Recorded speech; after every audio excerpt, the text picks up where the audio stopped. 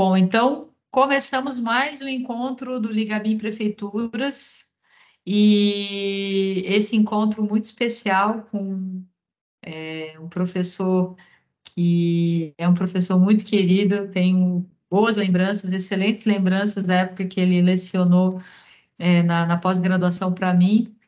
E, e, antes de apresentá-lo, professor Heron, antes de dar a palavra para ele, eu queria dar boas-vindas a todos que estão aí pela primeira vez conosco. É, rapidamente, também antes de passar a palavra para o professor Rogério, para ele dar boa noite a todos, queria contar rapidinho o que é o projeto Ligabim Prefeituras, para quem está chegando talvez hoje pela primeira vez. É um projeto que é uma iniciativa do professor Rogério e da Conexão BIM. O professor Rogério um dia nos chamou, vamos, vamos criar um grupo para a gente apoiar o setor público, da gente apoiar e discutir ideias legais.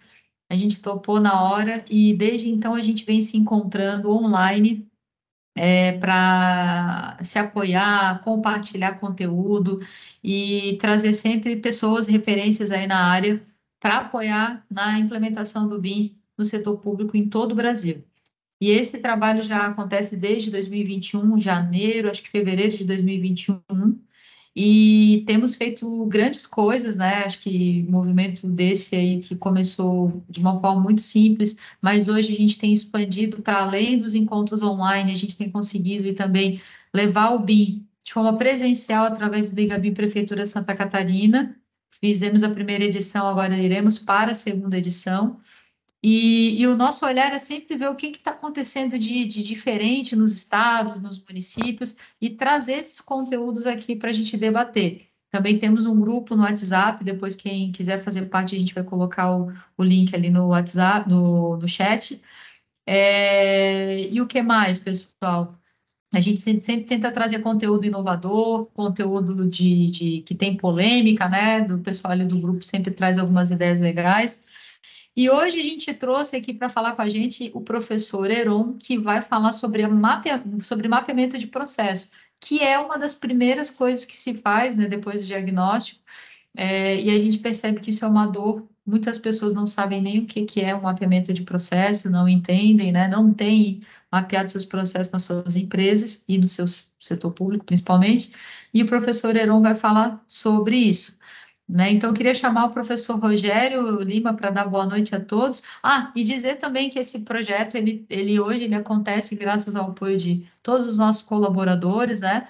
E também dos nossos patrocinadores que acreditam nesse nosso trabalho, que é a Solibre, a, também a Auto QI, e todo esse grupo aí, já são mais de 600 pessoas aí conectadas conosco, nos ajudando, nos apoiando de uma forma ou de outra, e sempre unidos a gente consegue muito mais longe.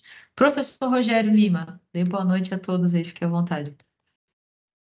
Obrigado, Kézia. Boa noite a todos. Boa noite uh, ao nosso grande convidado, Heron Santos. Muito obrigado por ter aceitado o convite de vir aqui falar um pouco com, conosco. É, agradecer a presença também de todo mundo que está aqui nos ouvindo e quem vai nos ver depois também lá no YouTube, que tudo isso vai ficar gravado e é postado lá no YouTube tá bem? De antemão, já agradecer a, a, todo o apoio dado pela Conexão BIM. Costumo dizer que eu sou só um semeador, mas como diz a própria parábola do semeador, a gente semeia, quando essa semente cai numa terra boa, ela gera frutos. E foi o que aconteceu com o Liga BIM. Ela caiu numa terra boa, que é a mão da Kézia, a mão do, da Conexão BIM, e está gerando bons frutos aí, em especial em Santa Catarina, mas não só em Santa Catarina. Tá bem? Então, boa noite, eu espero que todos gostem do encontro e passo a palavra aí, Késia, você de novo e depois ao Verão. Joia, maravilha. Professor Rogério, obrigada, tá? É, realmente eu fico muito feliz de, de estar compartilhando esse trabalho contigo.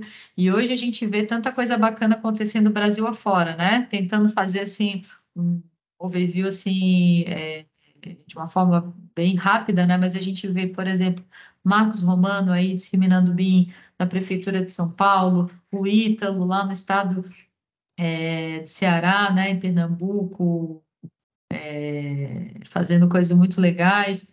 É, nós vemos também muita coisa bacana acontecendo no Paraná, muita coisa legal acontecendo eh, no Rio de Janeiro, o Infracidades, a, a Cris lá na Feijão e vários outros amigos que estão encabeçando. Cada lugarzinho do Brasil a gente tem um colega, tem um amigo que faz parte aqui do Ligabim. No Mato Grosso do Sul a gente tem o Fernando da, da Schettini, né? É, temos no Pará o Roberto. Então cada um, cada estado a gente tem um agente que tem essa sementinha na mão para nos ajudar a semear e fazer com que, é, por meio do BIM, né, que o BIM seja um meio da gente melhorar a construção civil dentro dos órgãos públicos. Então, dito isso, o professor Heron está introduzido aí a, a toda a nossa turma. O espaço é seu, fique à vontade. Depois o pessoal vai colocando as perguntas ali no chat e a gente vai lendo para tirar contigo, tá bom? Fique à vontade.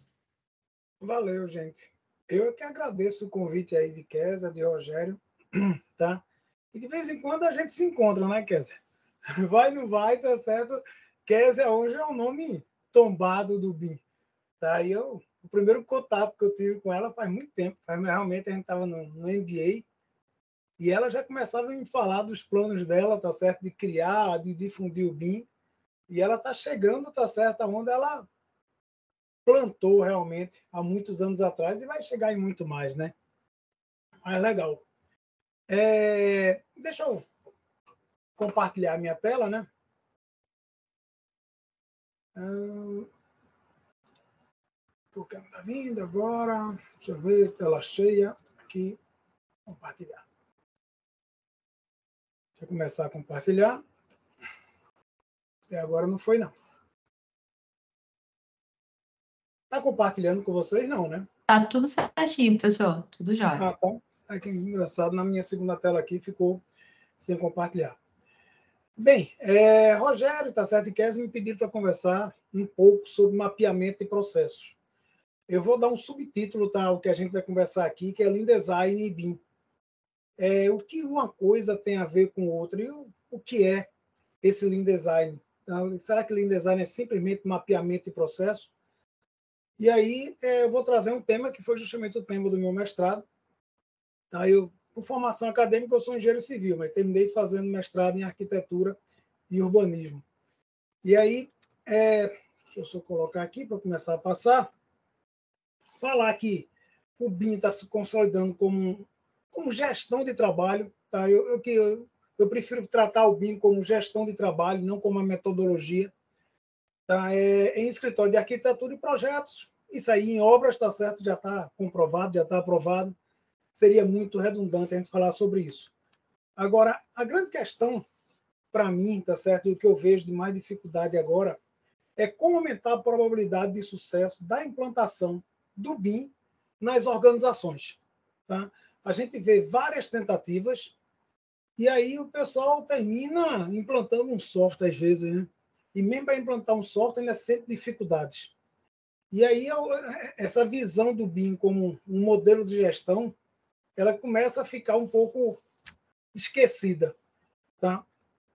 E aí é, eu queria chamar a atenção, esqueci até de pegar aqui, é, para a visão de Bilal Suca, quando ele coloca tá, que BIM é um conjunto de políticas organizacionais, tecnologias e processos.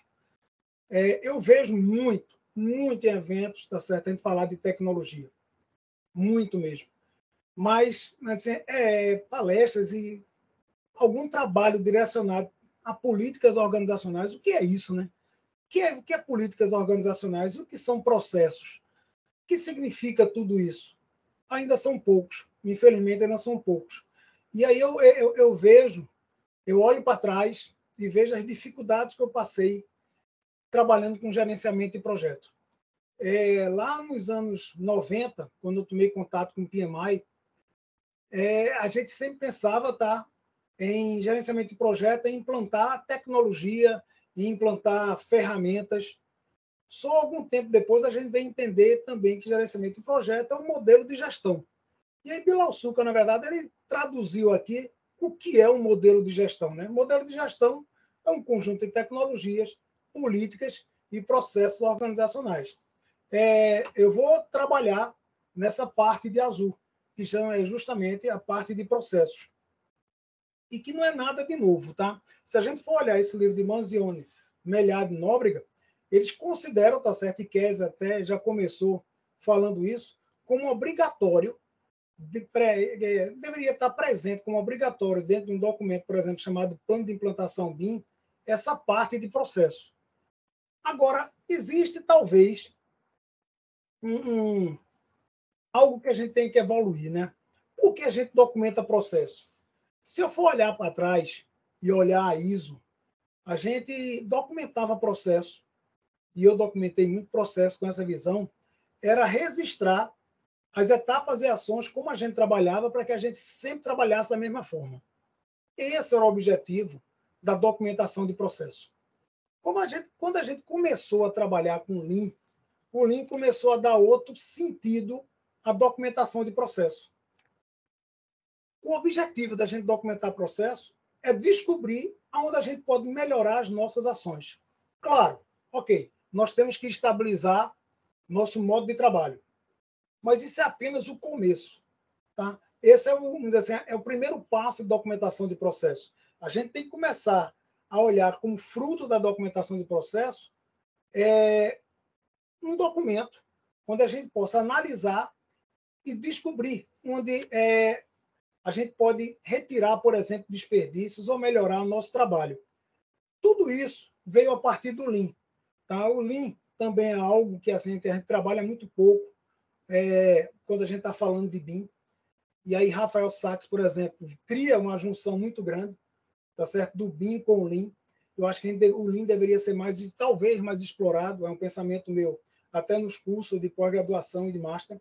Ele deveria ser, dizer assim, ser melhor apresentado. O Lean, basicamente, é um modelo Toyota de gestão e que tomou esse nome a partir de 1990, por aí, no final dos anos 80, tá? quando Von Mark e Jones publicaram esse livro, Rethinking, que era, vamos dizer assim, é, é, ele trazia o que a Toyota fez para a indústria automobilística, o que poderia ser feito em qualquer área. A partir desse livro, aqui veio, a partir desse, ocorreu uma grande crise nos Estados Unidos, o pessoal convocou esses, é, é, é, esses, assim, esses pesquisadores para trazer a solução. E de uma maneira muito simplista, não foi dessa forma, mas simplista, o que esses pesquisadores falaram para as montadoras americanas foi: ó, copia a Toyota que vocês se salvam. Basicamente foi isso. E aí, a partir daquele livro, surge, tá certo? A gente migra de modelo Toyota de produção, que era o que mais a gente falava, para Lean. Lean significa modelo Toyota de produção tudo se originou com o primeiro livro, né? A Máquina que Mudou o Mundo, foi o resultado justamente da pesquisa do Mark, Jones e Rios. E mais na frente o livro Rethinking, que em português é Mentalidade Enxuta nas Empresas. A partir desse livro, o Lean começa a se propagar para diversas áreas. Tá? Então, você tem o Lean Manufacturing, que é para indústria, você tem o Lean Office, que é para escritórios, de, de escritórios administrativos, você tem o Lean Service, que é até mesmo para consultoria. Hoje a consultoria ela está assim sofrendo grandes transformações com base nas técnicas de produção de Toyota aplicadas na área de serviço. Você tem o Lean Construction, que é para engenharia e arquitetura, daqui a pouco a gente vai falar sobre isso. Você tem o Lean Headcare, por exemplo, que é para hospitalar. Isso é apenas um, um visual do que a gente, aonde a gente pode aplicar o Lean. Na verdade, o Lean se aplica em todas as áreas, ele está presente em todas as áreas, né? Para a engenharia e arquitetura, um impulso muito grande aconteceu quando em Costela, em 92, ele lança as bases do Lean para para engenharia e arquitetura. E lança, cria né, um grupo chamado Lean Construction Group, e mais tarde se transforma no instituto. Né? Já, assim, esse movimento chega no Brasil quatro anos depois. Ele começa a entrar com mais forte aqui no ano de 96. É, o Lean Construction original, ele focava na obra, só na obra. Esse, vamos dizer assim, esse Lean Construction Group, lá no começo, no comecinho, era o Lean aplicado nas obras, só nas obras. Com o tempo, ele começou a se expandir. O Lean Construction Group começou a identificar que a obra era uma etapa do empreendimento. Você tinha outras etapas, principalmente na parte de projeto. E aí, quando a gente aplica, e eles deram o nome, tá? Quando aplicar as técnicas Lean de produção para os processos de projetos, nós damos o nome de Lean Design. Então, Lean Design é você pegar as técnicas Lean, os modelos, o modelo Toyota de produção e aplicar nos processos de produção de projetos. Tá? Existe uma outra área que é o Last Plan System, que dá suporte a essas de, tanto à obra quanto ao desenvolvimento de projetos, que é muito focado em planejamento. Tá? É, é uma, é, assim, é uma as melhores práticas, eles chamam até metodologia, mas é um conjunto de práticas mesmo, aplicadas ao planejamento, seja de projetos, seja de obras. E tudo, a base de tudo, a base de tudo isso que a Toyota coloca, a gente conhece como a casa da Toyota, é o trabalho padronizado. É você estabilizar seus processos. E para você estabilizar os seus processos, o primeiro passo é documentar os processos da forma como você trabalha hoje.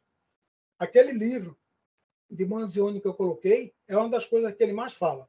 Documente seus processos da forma como vocês estão realizando ele hoje. Não queiram modificar. Não pensem em modificar. Então, a gente documenta a forma, vamos dizer assim, já que a gente está implantando o BIM, como é que o escritório hoje trabalha com as ferramentas que tem e com os processos que tem. Nós temos que documentar isso para que a gente venha a ter uma estabilidade, ou seja, a, o escritório começa a trabalhar de maneira padronizada, sem muitos improvisos. Improviso sempre vai existir, né? Mas sem muitos improvisos.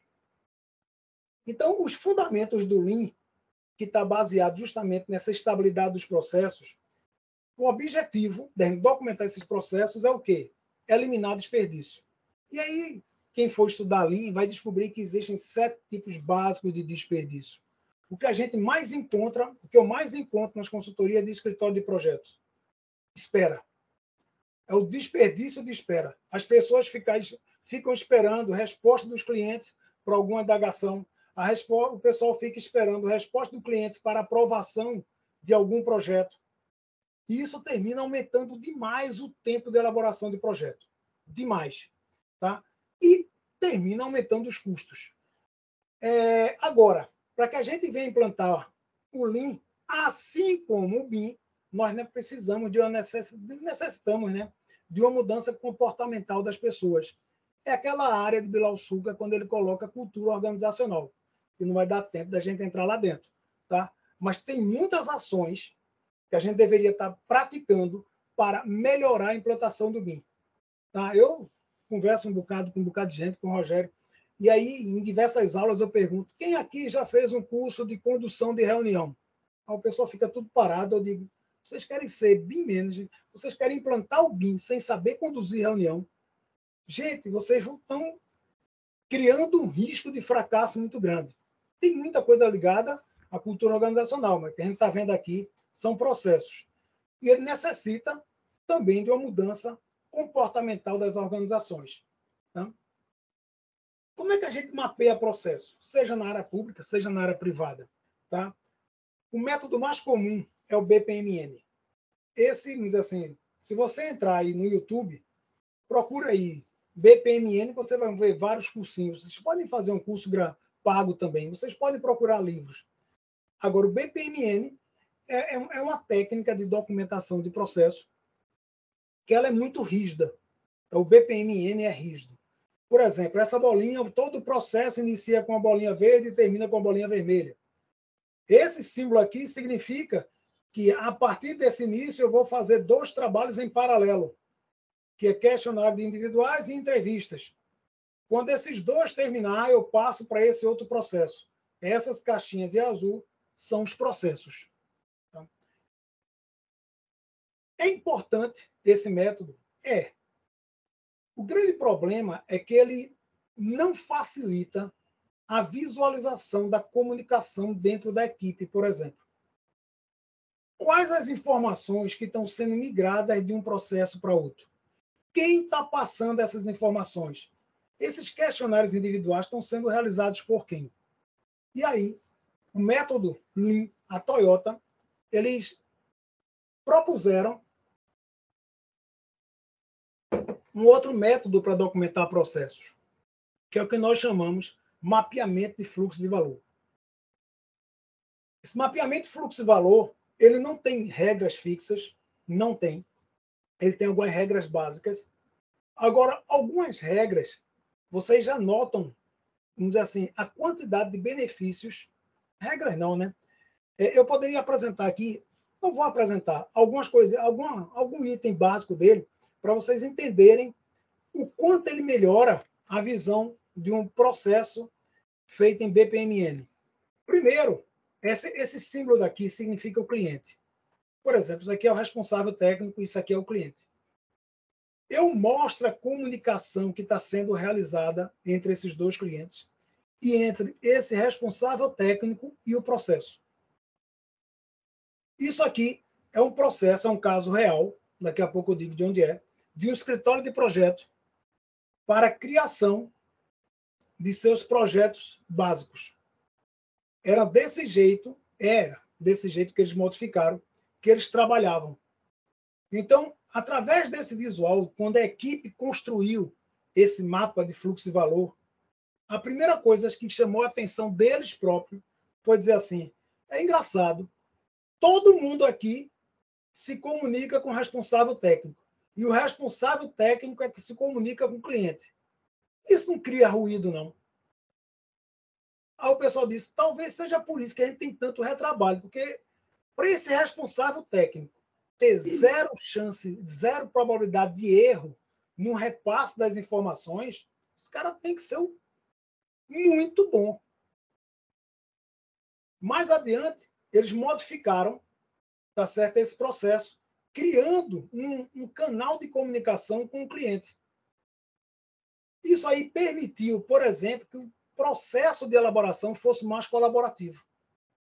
Então, o mapeamento de fluxo-valor é uma ferramenta que está presente dentro do Lean Design que possibilita você melhorar a comunicação, você diminuir retrabalho, você começa a visualizar os retrabalhos que tem aqui dentro.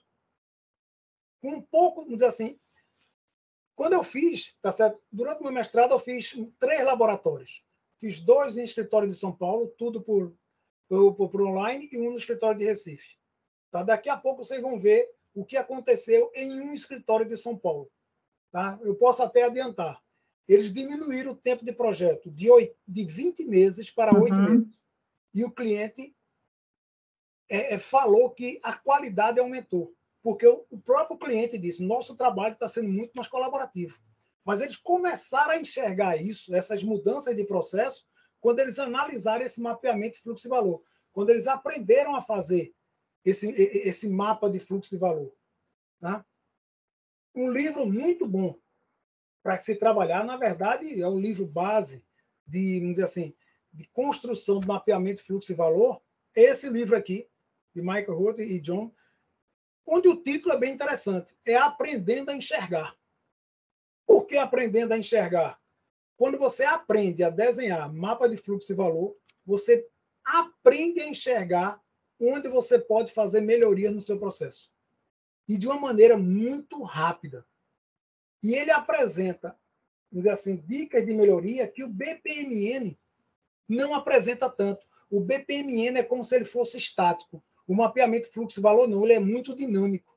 Isso possibilita que as pessoas analisem ele e já digam, oh, a gente pode melhorar o processo aqui, a gente pode melhorar a qualidade aqui, a gente pode reduzir o tempo de desenvolvimento aqui. Então, um livro muito bom para isso é o mapeamento fluxo-valor, que é a base do Lean Design. O Lean Design, que é a readequação dos processos de projetos para, vamos dizer assim, é, com a aplicação do Lean. Ué, mas por que tudo isso é importante para o BIM? Gente, no momento que a gente casa a implantação do BIM modificando os processos, você vai modificar seus processos, analisando eles com mapa de fluxo de valor, com InDesign, aquela ideia que você tinha de reduzir 15%, 20% vira balela. Você vai reduzir no mínimo 50% a 60% do seu tempo de projeto. Você vai reduzir custo num potencial muito maior.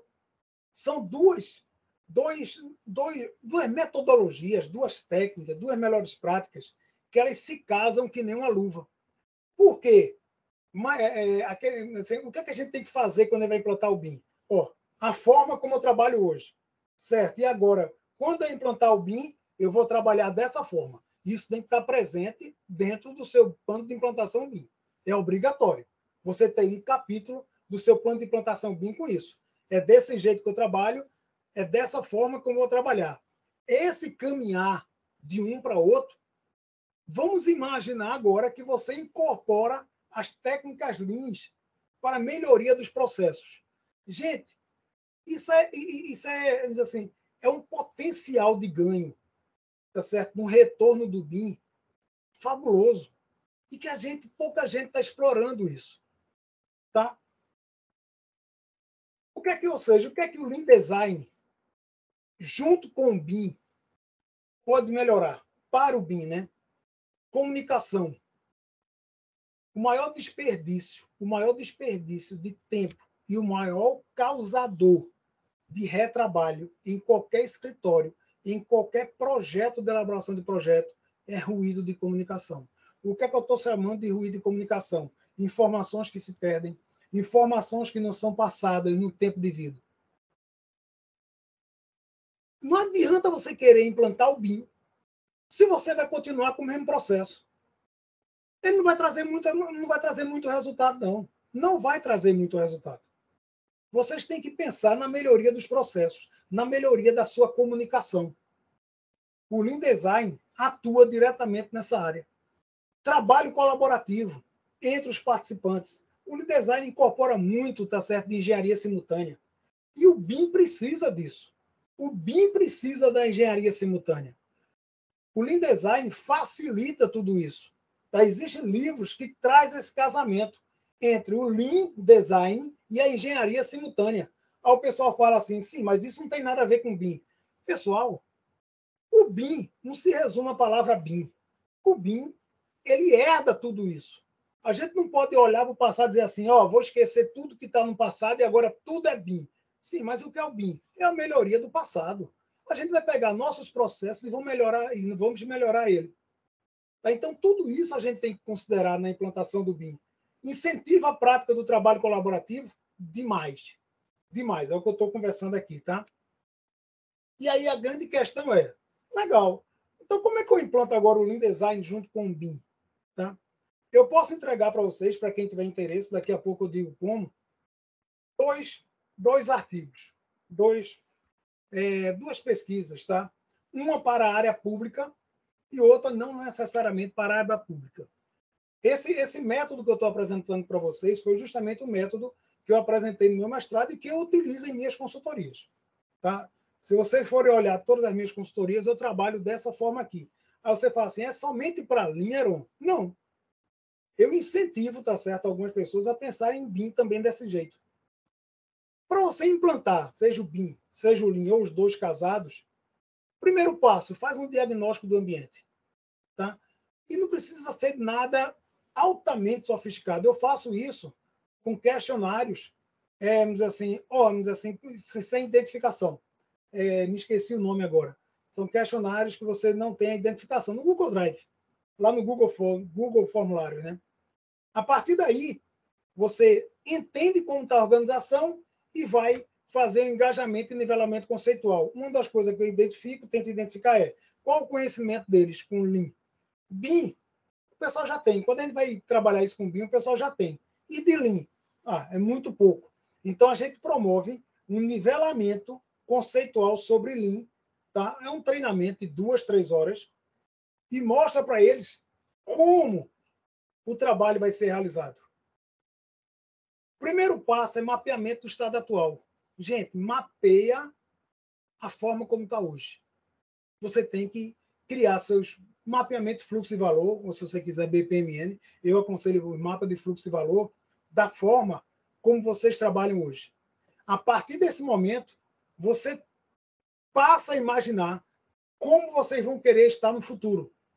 Quais as modificações que nós vamos implantar, por exemplo, com o BIM, e como essas modificações vão impactar no meu processo. Então, eu tenho um novo desenho de processo. Esse caminhar entre o estado atual e o estado futuro é o seu plano de implantação BIM, que pode demorar dois, três anos. Um ano. Um ano eu não acredito, não. Tá? Tudo, esse caminhar aqui, ó, você tem que elaborar um plano de implementação que está no seu plano de implantação BIM, o seu caminhar. Ó, nos próximos seis meses eu vou fazer isso. Uma visão que a gente prega muito hoje do Lean. Tá? Sempre planejem sobre três horizontes de tempo. O longo prazo, ó, em três anos eu quero modificar e chegar aqui. Em médio prazo, nos próximos três meses, o que é que eu vou fazer? E em curto prazo, na próxima semana, o que é que eu vou andar para conseguir os três meses? O que eu quero nos três meses? Para depois daí imaginar como é que eu vou chegar daqui a três anos. Então, esse é um plano de implementação que está muito assim. A gente, nesse nivelamento conceitual e nesse caminhar aqui, a gente treina as pessoas em Last Plan System, que é o modelo de planejamento do Lean, que vai impactar o plano de implantação Lean? Vai diretamente, porque ele vai estar agora com um planejamento Lean, que ele é muito saudável, tá? E a probabilidade de sucesso aumenta muito. E a partir daí você passa a fazer a implantação do estado futuro. Se vocês notarem, eu tenho dois PDCA. Eu tenho um PDCA nessa implantação, que eu fico olhando toda semana, eu verifico o que eu fiz de errado para não errar na próxima semana. É o que eu estou executando semana a semana para conseguir os três meses. Só que eu posso voltar a isso quando eu termino. Por exemplo, dentro do meu plano de implantação BIM está o treinamento em Revit ou ArchiCAD. É uma ação, é uma ação. Tá? Depois que eu termino isso, eu posso voltar para cá e aí eu já vou modificar alguma coisa do meu processo, não a forma como vai ficar é, final, ou seja, lá no futuro, daqui a três anos, mas eu já posso modificar e eu posso descobrir novas melhorias eu posso descobrir ajustes nesse meu caminhar de três anos.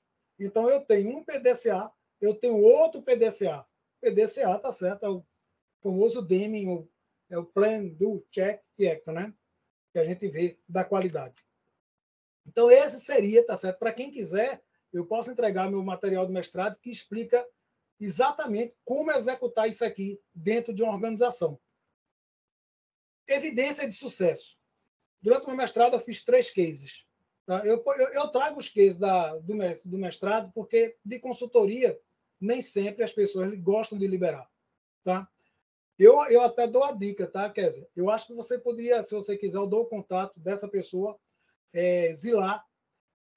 Hoje é uma das sócias da Favo Arquitetura. E ela, depois que, diz assim, durante uma aula do, do, do eu vou falar da Zigurá, eu falei do meu, do meu tema, eu digo, eu estou a carta aqui de umas duas organizações para servir de laboratório. E ela disse, eu quero. E a gente teve reunião com a diretoria, ela na época não, não pertencia à diretoria, e ela aceitou implantar esse método aqui, ó, executar esse método. Zilá, no começo do ano, mandou um master, uma mensagem para mim, e aí ela, a gente já fez palestra com ela na Zigurá. Tá? Ela, que ela disse, um acho que você merece ficar sabendo é, a gente não acreditou, mas um projeto que a gente executava em 20 meses, a gente sabia que podia fazer mais rápido, não entendia por que demorava tanto. Nosso último contrato, a gente fez ele em oito meses. E o cliente falou que a qualidade melhorou.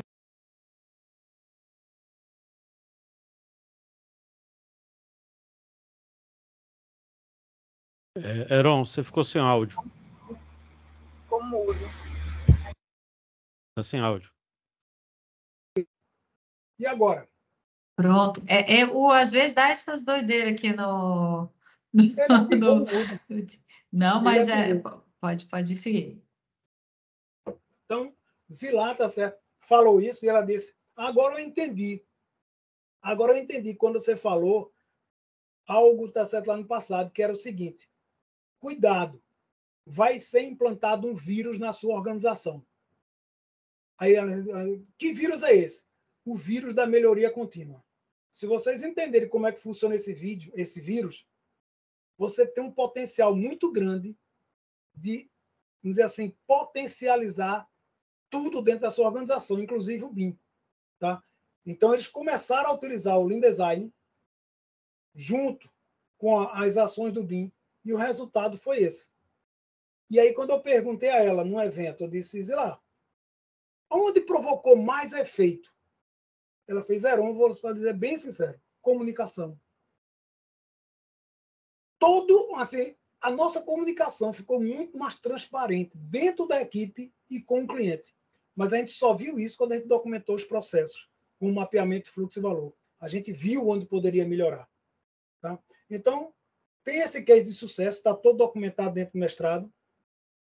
E na área, na área pública, se vocês pesquisarem no Google, Google, Google, como é que se diz? Google, Google School, né? Lá, tá? Vocês podem encontrar esse trabalho, que é o mapeamento do fluxo de valor do projeto executivo de arquitetura em órgão público, onde ela relata tá, o potencial na redução do prazo em órgãos públicos em até 40% do tempo. Ela coloca isso lá. Tá? Não necessariamente naquela época, esse trabalho é de 2010. De 2010 está baseado somente em CAD. E o foco dela foi redução de prazo, não foi tanto qualidade, se bem que ela foca também na qualidade. Mas mesmo com CAD, o potencial de redução que ela coloca é de 30% a 40%. Ela chega a 38% e alguma coisa, ela calculou lá. Redução de prazo.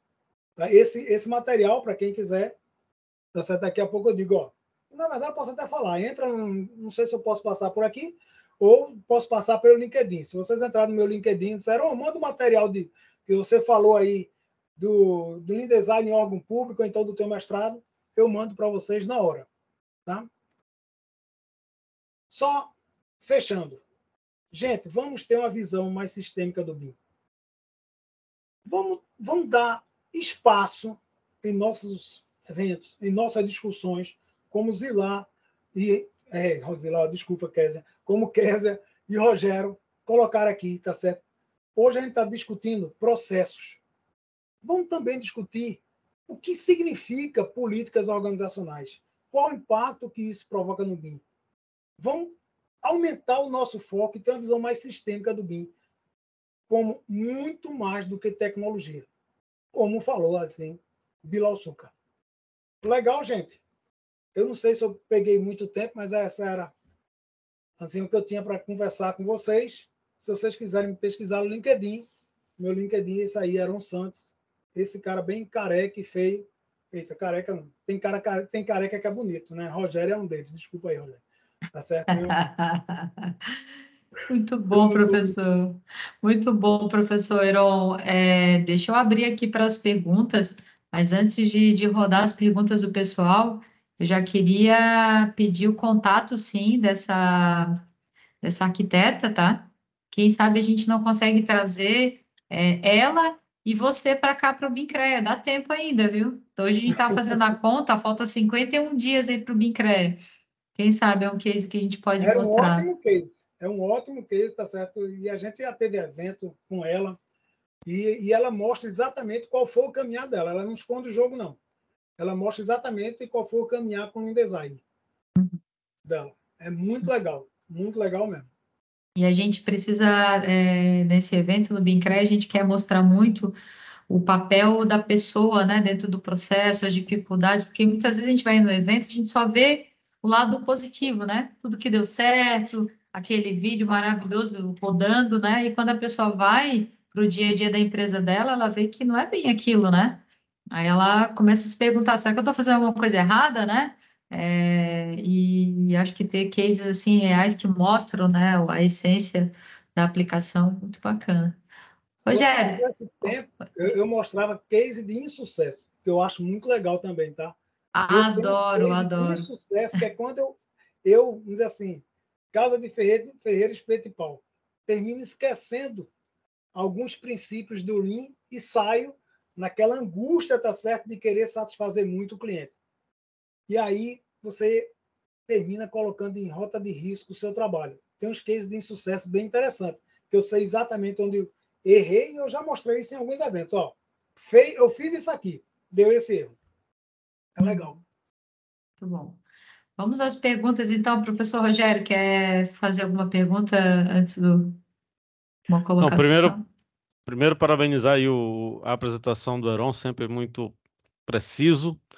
E se há uma coisa que eu, eu acho muito legal nas, nas colocações do Heron, é essa preocupação que ele tem de, de também fazer uma autocrítica. Tudo que ele faz, ele diz assim, mas eu errei em tal lugar, mas eu vou consertar. E ele está sempre em melhora, em melhoria, porque ele está sempre se autoanalisando. Parabéns, Heron. Muito bom, muito bom. É, é, excelente, professores. É, vamos lá, então, Marcos Romano, primeiro aí da fila. Pode puxar, Marcos, faz a sua pergunta, por favor. Então, boa noite aí, professor Heron, muito bom ouvi-lo. Eu acho que a sua fala ela é muito pertinente ao momento, né? A, a Kézia já falou que o, o, evento esse ano lá do, do BINCREA Santa Catarina está focando as pessoas, né? Porque, primeiro, que são poucos que têm a humildade de dizer que errou, né? São poucos que têm a humildade de dizer preciso melhorar. E esse desafio que a Kézia está lançando, eu acho que é uma coisa que a gente deveria é, levar muito adiante e apresentar os casos, né, os cases de insucesso.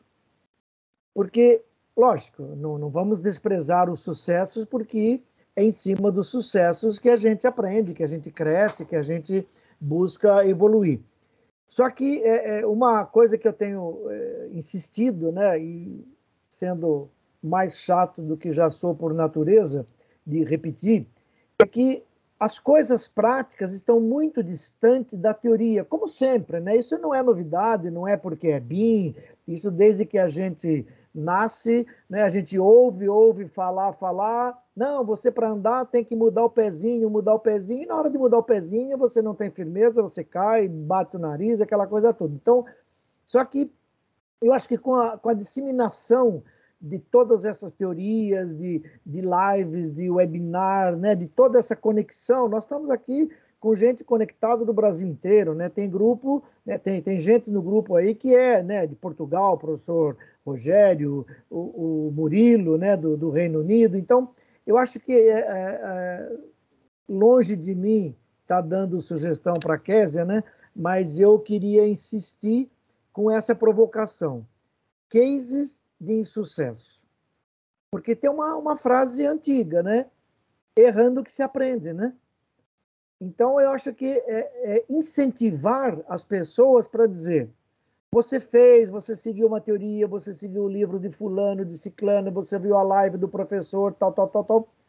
Onde é que você errou? Por que, que não deu certo? Porque todo mundo está na mesma página, né?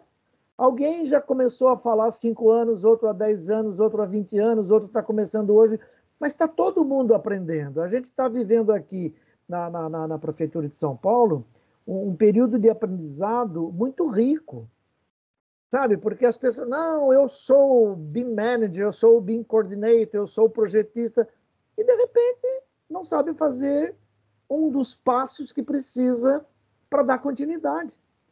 Então, assim, vamos ser humildes e vamos dizer: olha, até onde eu aprendi era assim. Agora precisamos chamar, quem sabe, um passo a mais para poder me ajudar a dar esse outro passo. Então, eu acho que essa sua fala é muito importante, né? todo esse aprendizado, né? Esses, essas é, é, estruturas né? que você está mostrando, aliado com o que o professor Rogério fala com, com certa frequência, Kézia também, todo mundo também, eu acho que a gente podia fazer isso. Lançar. Sucesso está aqui. Olha, fiz, deu certo, né? Quem quiser dar certo, vai comigo. E o que, que não deu certo? Porque tem uma questão muito, muito é, é, importante que, falando só de Brasil ou só de Estado, a, a, a Kézia fez agora a jornada em Santa Catarina, eu não tenho dúvida de que ela viu coisas diferentes em cada cidade. Ela foi na prefeitura, ela falou com o engenheiro, ela falou com o arquiteto, ela falou com o prefeito, ela falou com o secretário, ela falou com pessoas da mesma categoria, né? eventualmente do mesmo nível de conhecimento, mas com certeza ela tem cases diferentes de cada uma. E é Santa Catarina, é um estado, Paraná, né, Rio Grande do Sul, São Paulo, é, Pernambuco, né, Ceará, todo mundo. Então, eu acho que é, é um, um, incentivo muito importante dizer: apresente o seu case de insucesso para a gente aprender junto e melhorar e você minimizar os seus erros. Obrigado pela oportunidade. Vamos deixar os outros falarem também, né? Ania já está me provocando aqui que eu não tenho o botão desliga. Eu já falo sempre que não tenho mesmo. Então, vou desligar agora. Obrigado, gente. Marcos, deixa eu só complementar um pouquinho, assim, colaborar com esse pensamento, tá? Eu, eu sempre começo falando, quando eu falo de linha, eu digo, ó, vocês querem entender o que é Lean? Vou explicar rapidamente. São três princípios. Respeito ao próximo, humildade e melhoria contínua. Se você entender isso, você já começou a entender o que é Lean. Aí, a grande pergunta, o que é respeito ao próximo? E é aí, tá certo, quando eu mais caí em consultoria. É chegar dentro da organização e querer levar para ele as soluções dos problemas dele. Gente, eu não estou respeitando a equipe nada. O que mais eu faço hoje, quando os cases de sucesso são aqueles que eu realmente eu trabalho. Ó, quem vai dar a ideia de melhoria são vocês. Eu não sei. Eu não sei como melhorar. Vocês é que vão saber. Agora, eu posso treinar vocês em ferramentas que vão ajudar vocês a refletir. E aí, eu estou com um case de insucesso agora. Eu fui consultor de um consultor sobre a implantação do Lean em uma construtora. E aí, ele praticando, eles disseram: já vou apresentar uma série de soluções para os problemas que eu vi na obra. Eu digo, rapaz, calma. Não, não, Heron, vai dar certo. E aí eu não fui rígido. Eu digo, tá bom, vai. Olha, o que foi. A equipe da obra rechaçou. Triturou as ideias, não foi implantado uma. Por quê? Se eles implantassem, eles iam estar dizendo assim: eu estou atestando que eu não estava fazendo direito, então aí eu vou dar razão ao consultor. Não vou fazer isso. E eu vejo isso acontecendo na implantação do BIM. A equipe em nenhum momento é consultada. Aí o pessoal, mas como é que eu vou consultar o pessoal do BIM se o pessoal não sabe nem o BIM? Então, parei, para, para, para, para. Faz o treinamento, então, antes, para o pessoal entender o que é BIM. Como é que tu quer implantar algo que o pessoal não sabe nem o que é? Então, tem alguma coisa estranha aí.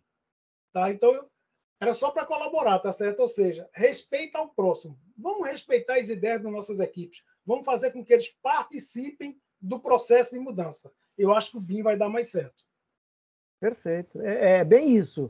Quem sabe como faz e o que está dando certo e o que está dando errado é quem está fazendo. Ô, é Marcos, lógico, lógico Marcos precisa, ali no grupo, esses dias estava rolando uma discussão sobre isso, né? Algum colega falou assim: ah, é, muitas vezes quando a gente mapeia processo o, e a gente fala com o gerente para mapear o processo, o gerente não sabe muito bem como é que as coisas acontecem. Justamente porque mapeamento de processo você faz com todos os envolvidos, inclusive é. o gerente, mas assim, na verdade, os mais importantes são as pessoas que estão ali na produção, né? E, e muito legal esse teu depoimento, Heron. E agora que eu queria fazer uma pergunta específica aqui. Deixa eu ver se tem alguém aqui na minha frente. É... Tá, tem o Tiago aqui que está perguntando. Algum comentário sobre Lean Hard Skill e Soft Skill? Olha só, é para mim mesmo. Ai.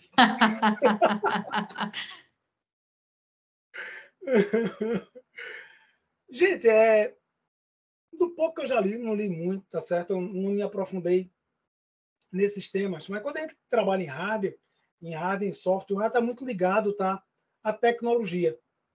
Está muito ligado aos conhecimentos que você tem que ter técnicos daquela área. Tá? Enquanto o lado software é mais comportamental, é comunicação, tá? é, é, é, é técnicas de resolução de problema. É, o que é que o Lean pode atuar nisso aí? Tá? O Lean, na verdade, ele trabalha comportamento. Independente se você vai trabalhar Lean, se você vai trabalhar BIM, se você vai trabalhar gerenciamento de projeto, você vai ter que trabalhar essas duas áreas. Não tem como tá certo? O lado hardware e o lado software. Porque BIM não é somente tecnologia, então não é somente hardware. BIM também, tá certo? é, tecno, é, é processos e comportamento, que é o lado software.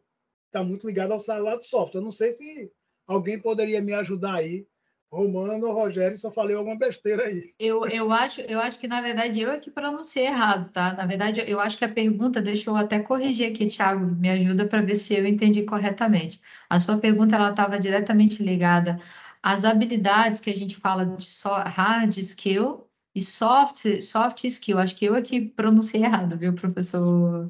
Então, é assim, quais são as habilidades técnicas, né, que são estruturantes para aquele profissional e quais são aquelas habilidades é, muito mais ligadas ao, ao a, aquela sutileza, aquele nuance é, mais assim do, do, do, da sensibilidade da pessoa, do saber conviver com o próximo. É isso, Tiago? Acertei? Tá, maravilha, está colocando ali, é isso aí. Então, seriam essas habilidades, quais, quais seriam as habilidades, no seu ponto de vista, com relação ao BIM, que são habilidades que se aprende na academia, que são é, linhas de pensamento é, mais é, estruturadas, mas assim, que se aprende de uma forma um pouco mais acadêmica, e aquelas que a pessoa nasce e aí eh, vai desenvolvendo isso com muito mais sensibilidade, né, digamos assim. Professor Heron, só para completar, se o Tiago me permite, ele falou de hardware, software, faltou falar do peopleware, que é o que a Késia está falando, né? Você tem justamente, eh, não tem como desassociar né, isso da pessoa, né?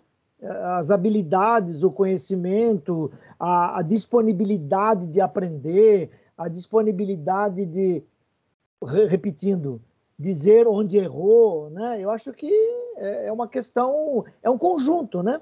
Um conjunto de três fatores e o hardware você aprende na marra ou com facilidade, né? O, o software, o hardware você compra, né? Faz uma especificação e como é que você faz o povo treinar, aprender, pensar, raciocinar, reconhecer erros. É realmente um grande desafio. Eu acho que eu fui que entendi errado a sua pergunta. Eu acho que você falou correto, Lucas. Eu acho que eu, quando eu comecei a falar aqui, eu terminei misturando hardware, tá certo? Eu entendi o hardware skill mesmo, tá certo? Você falou isso aí. Eu é que devo ter entendido errado. Mas só para a gente pensar, tá? Como é que a gente vai treinar algo tão importante para o BIM como técnica de liderança? Qual é o master, qual é o, o, o MBA que tem, ou então na graduação, que prepara a gente para ser líder. Esse é um perfil software que você vai ter que pesquisar. Talvez você tenha, existem cursos específicos para isso, tá? Mas é, é, seria uma das ações do software que eu valorizaria muito. Eu valorizo muito. Você saber liderar a sua equipe, em vez de gerenciar. Porque o gerenciar é você fazer cumprir o que eles têm que cumprir. Isso é gerenciar. Agora, liderar, não. Liderar é você fazer com que eles façam além do que eles têm que fazer e queiram se aperfeiçoar cada vez mais. Aí você começa a se tornar um líder. Está aí um, uma área boa para a gente estudar, né? Uhum, muito legal. O líder é aquele que faz com que os, as qualidades do time elas sobressaiam, né? E na verdade você vai simplesmente induzindo cada um dentro das suas habilidades a dar o melhor de si, a contribuir para o todo, né? Então, isso é sensacional. Agora eu vou fazer uma pergunta, então, com relação ao setor público. É, o setor público é algo assim é, muitas vezes as pessoas perguntam por que você trabalha para o setor público? Por que você não vai trabalhar com coisa mais fácil, né? Vai ser consultora de empresa privada, que talvez seja mais fácil. O setor público, por exemplo, ele não tem, é, a maioria dos órgãos que eu já passei, não tem os seu, seus processos definidos, os seus processos mapeados. E eu, inclusive, na semana passada, estava num evento aqui em Itajaí, que um dos grandes estandes ali mais movimentados era um estande que é, prometia automatizar processos dentro das prefeituras através de um software. Então, ao invés de você ter um papel, uma pessoa, né, a, a física que vai lá, leva o papel para o outro carimbar, volta com aquela pilha de papel, você faz com que aquele fluxo seja todo digital. Isso era a coisa mais importante naquele evento. Eu fiquei pensando assim, meu Deus, uma coisa que teoricamente para nós a iniciativa privada é algo muito simples. Dentro do setor público, se aquele, aquela simplicidade acontecesse, olha quanto de, de ganho que a gente teria. E aí vem a pergunta para você, professor Heron. Qual é a tua visão, sendo muito pragmática, assim, né? Da gente conseguir, de fato, fazer com que o setor público é, implemente fluxo de trabalho, não estou nem falando de BIM, né? Fluxo de trabalhos mínimos. Qual é a tua visão? Você acha que isso é algo que a gente é, é um desafio que a gente vai conseguir vencer? É algo que eu sei que a gente é esperançoso, né? A gente quer muito que isso aconteça. Mas qual é o caminho? Qual é o meio? Porque eu realmente tem dias que eu desanimo, porque a gente não vê procedimentos escritos, a gente vê rotatividade de pessoas, a gente vê é, é, as coisas não tão claras assim, né? As pessoas entram numa determinada função, não são capacitadas para fazer aquela função, e aí você não consegue nem mapear o processo mínimo de trabalho, que está implementar BIM. BIM é, como você falou, é algo muito mais abstrato para eles. O básico não é, é entendido. Qual é a tua visão, qual é a tua esperança, assim, até para dar um quentinho no nosso coração e a gente dormir tranquilo hoje à noite? Ó, bem, vou, vou jogar aqui o que eu penso, tá? Sujeito a críticas e a mudança de pensamento a partir do que foi documentado aí. Eu acho que a gente está passando por um momento onde a gente herdou tá, que processo era algo chato a ISO chegou e disse: tem que documentar tudo. Eu odiei processo. Ó, se tem uma coisa que eu não gostava era processo. Por quê? Eu passava dois meses documentando tudo, todos os processos, era bonito. E aí aquele documento virava o que a gente chama estantuário. Não sei se já ouviu falar desse tipo de documento. Entra na estante, ó, não serve mais para nada, mas documentou, documentou. E aí chegou o Lean, e me modificou o pensamento. Primeira coisa que o Lino disse: para de documentar tudo, Aaron. Para com isso. Documenta um negocinho pequeno, vê as melhorias e implanta. Aí o pessoal vai dizer assim: rapaz, não é que pode dar certo? Mas vamos fazer pouca coisa. Pouca. Eu vejo o pessoal pegar, tá certo? Planos de implantação, seja no setor público, fabulosos, mas bonito. Eu disse, e qual é o primeiro passo? O primeiro, para dar certo, e plano de implantação só vai ser isso. Aquele plano de implantação só vai ser esse primeiro passo. Se ele der certo, o pessoal diz, ó, oh, opa, esse negócio pode estar certo, peraí, deixa eu ir para o segundo. Ao segundo dá certo, ah, rapaz, esse negócio está bom demais. Aí vamos para o terceiro. É o que o mais prega, melhoria contínua, mas poucas. Eu, eu, como consultor, tá certo? E como qualquer coisa, lá no passado fiz muita besteira. Que querer transformar água em vinho. Só teve uma pessoa que fez isso. Tá certo? Não adianta, não existe mudança como nós ocidentais queremos, que é da água para o vinho. Que o ocidental, nós brasileiros, latinos, querendo isso. Ó, hoje é desse jeito, amanhã é um paraíso. Não, Hoje é desse jeito, amanhã vai continuar sendo, só que vai melhorar um pouquinho. Isso aqui, isso aqui.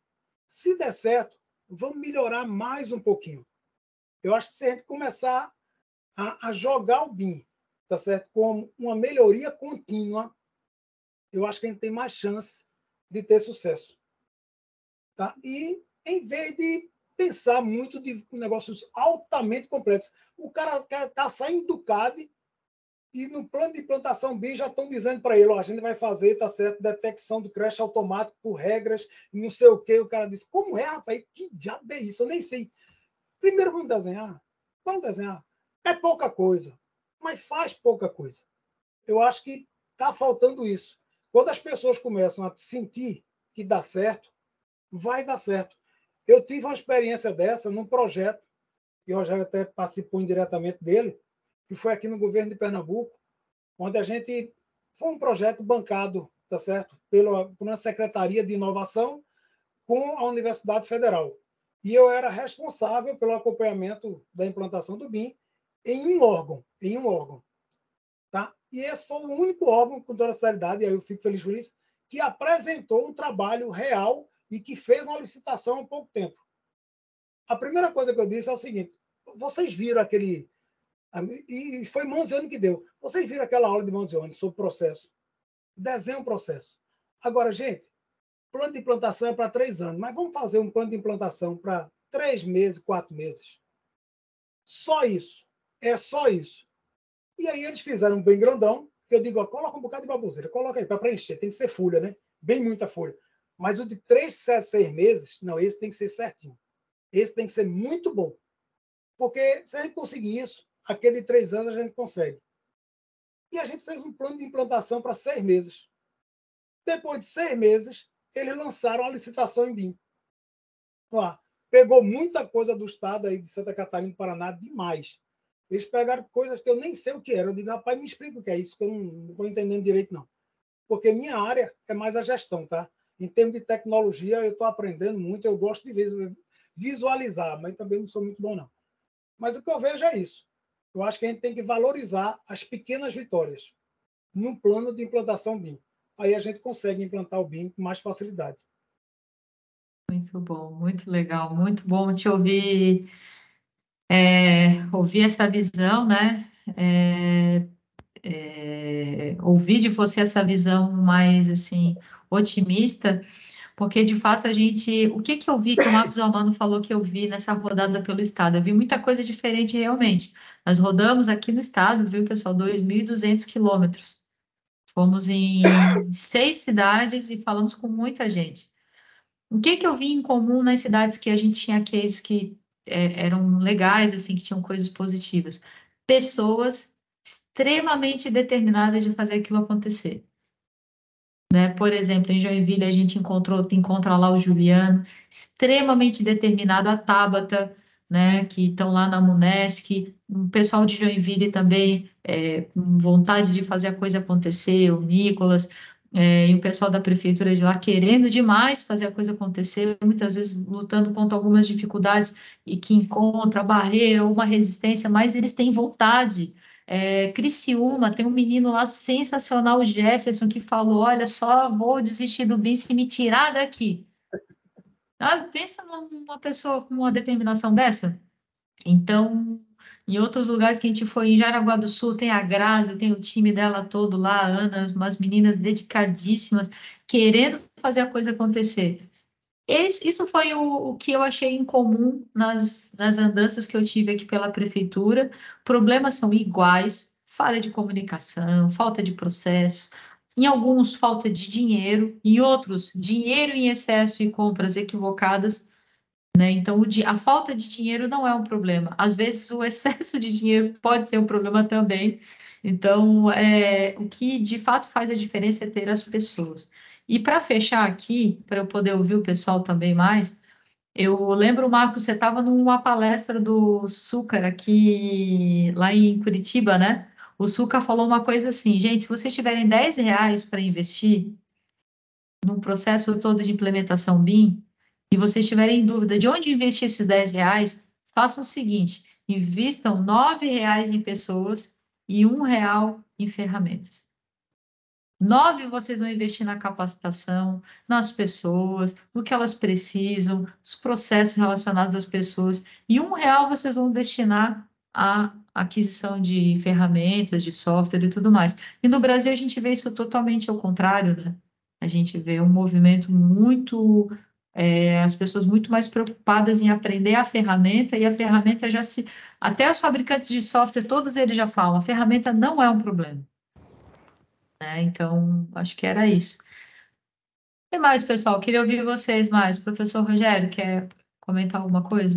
Ah, foi o Marcos que levantou não, não, a mão? Rogério, Rogério tem prioridade. Não, fica à vontade, Romano, fica à vontade, vai lá.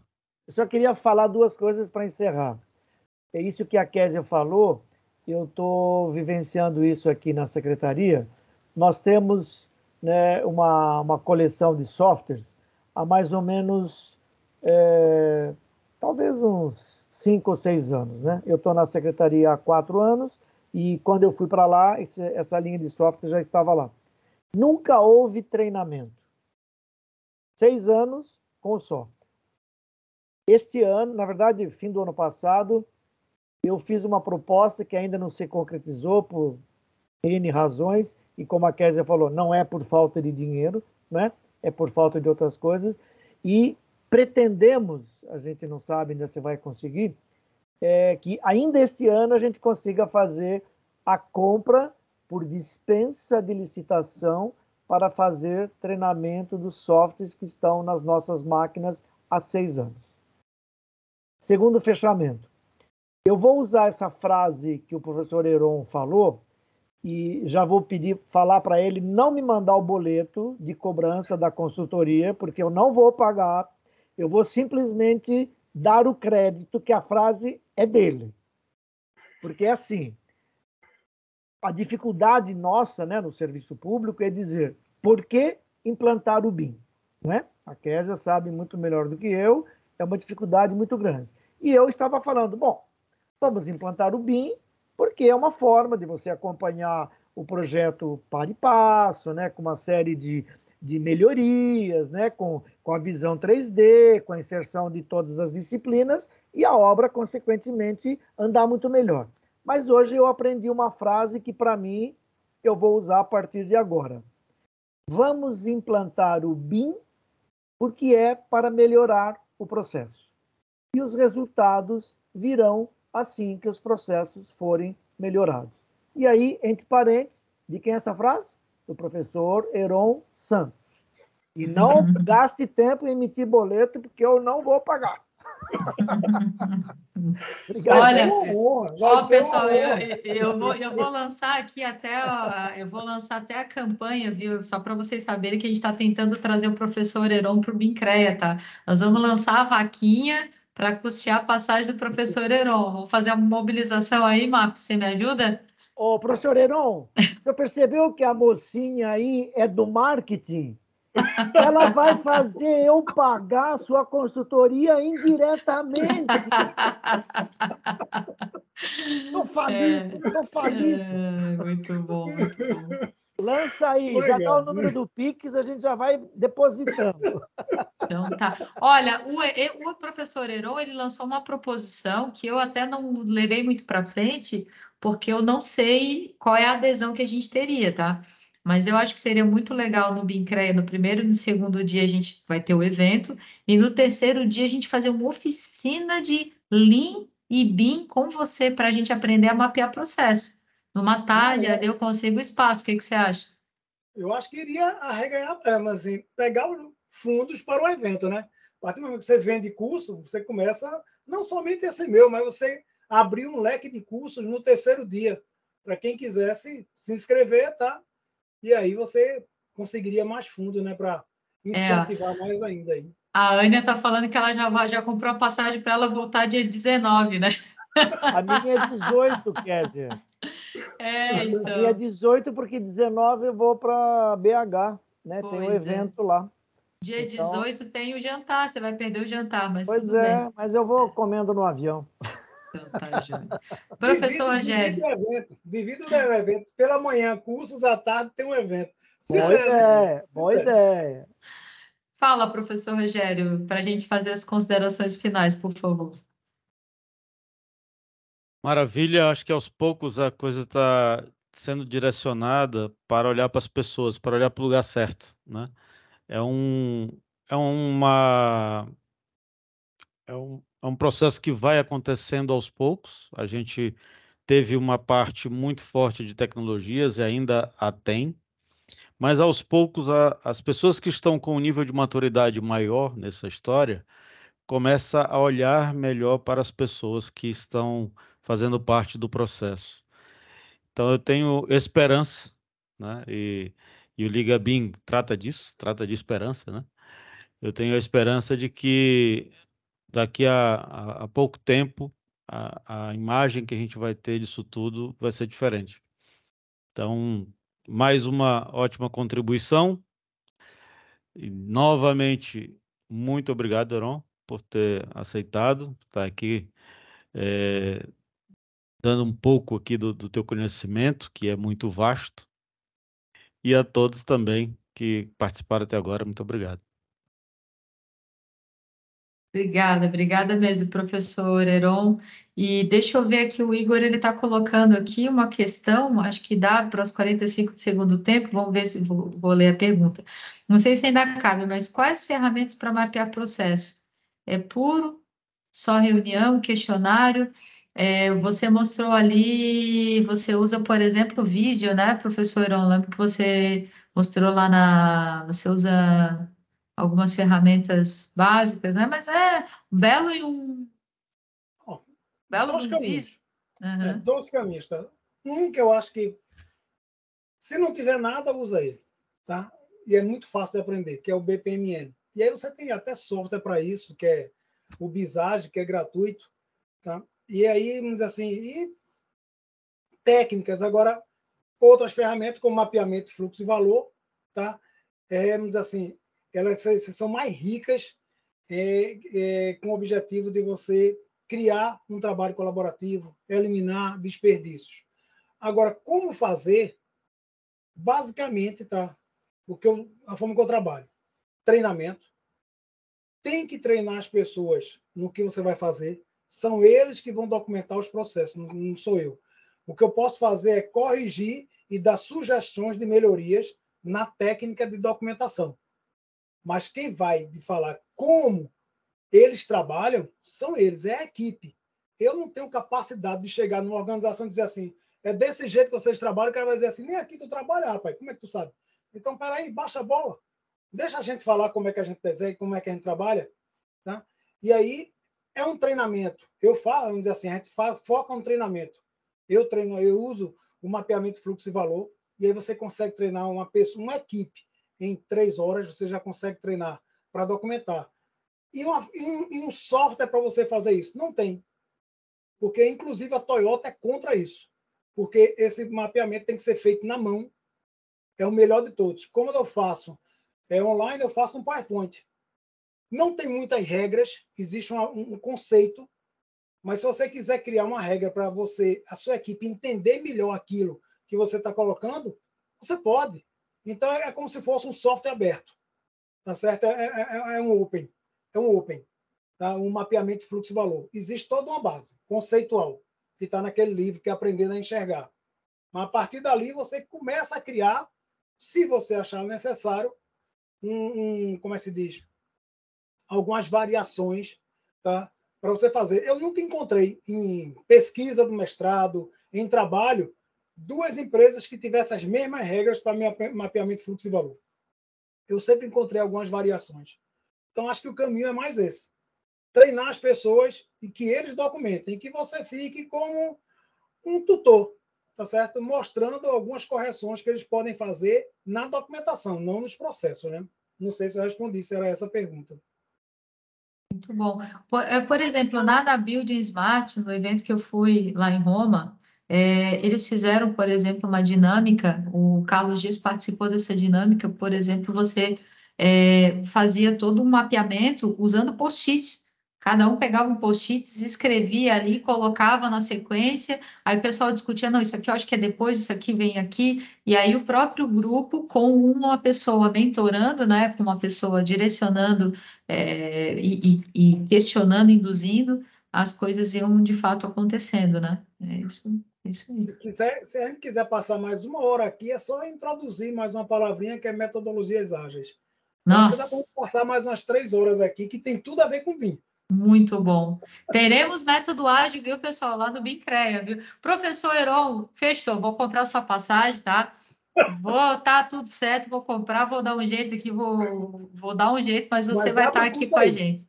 Fecha a sua o Nem agenda. precisou do. Pix, professor Heron, nem precisou do Pix. Foi só dizer que era mandar o número que a gente depositava, ela já achou dinheiro, já comprou passagem. Nada, eu professor vou dar um Heron tá lá. chute. Eu vou Tá dar um lá. chute e vou correr pro gol. É a minha especialidade, Tá né? Mas abre o curso, que bom mesmo, tá certo? É a gente ensinar as pessoas e ver elas produzindo algo diferente. Aí é gostoso. Viu como é bom provocar? Foi só falar do Pix, pronto, já achou dinheiro, já tirou dinheiro do colchão a Késia e já comprou a passagem. Bom, pessoal, muito bom. É, agradeço demais, viu, professor Rogério, de novo, obrigada. Marcos Romano, Ânia, todo o povo aí presente com a gente, obrigada, tá, pessoal? É, recados paroquiais. É, a quarta-feira estaremos na frente parlamentar do BIM aqui em, lá em Brasília, tá? Então acompanhe que nós estaremos aí passando uh, o que tiver aí de informação para vocês, pessoal do setor público. É, nós estaremos aí em vários eventos durante esse mês de setembro, então a agenda vai ser cheia, então acompanhe a gente que a gente vai estar sempre municiando vocês. É, BIMCRA SC 17 e 18 de outubro aqui em Florianópolis. Dia 31 é o último dia do primeiro lote, então quem quiser comprar ingresso com desconto, corre para poder adquirir. Quem for bem conectado, tem desconto, então me chama lá no grupo do WhatsApp que eu coloco a, as, as informações lá para vocês. É, Ania, você tem um link aqui do Ligabim, deixa eu ver se eu consigo gerar rapidão aqui para poder passar para o pessoal. Quem não é Ligabim, quem não faz parte do Ligabim, eu vou colocar o link aqui no chat para poder entrar no nosso grupo. Deixa eu ver se consigo gerar rapidinho aqui. Consigo copiar link, lá vai lá para vocês. Então, quem for bem conectado e quiser participar do Bincreia, tem desconto, tá? É só entrar no grupo e pedir o desconto, tá aqui no chat. É, o que mais, pessoal? É, de novo, agradecer aos nossos patrocinadores, apoiadores, AutoQI, Solibre, agradecer a todos aí que fazem parte do projeto que a gente está fazendo junto com a Emel em Portugal. Logo, logo a gente vai ter novidades para contar para vocês. E desejo a todos aí uma boa noite, tá, pessoal? E obrigada por compartilhar tanto conhecimento aí, professor Heron. Vamos Eu nos ver aqui em Floripa. Muito bom. Até mais, pessoal. Boa noite. Tchau, tchau para todos aí. Parabéns. Abraço. Até logo, gente. Tchau, tchau. Tchau. Tchau. Tchau, tchau.